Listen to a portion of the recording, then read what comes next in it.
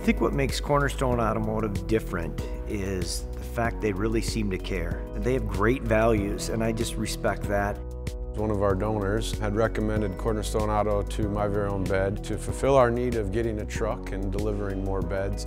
We have a core value of relationships first. Cornerstone shared that same core value and the importance of community and building community.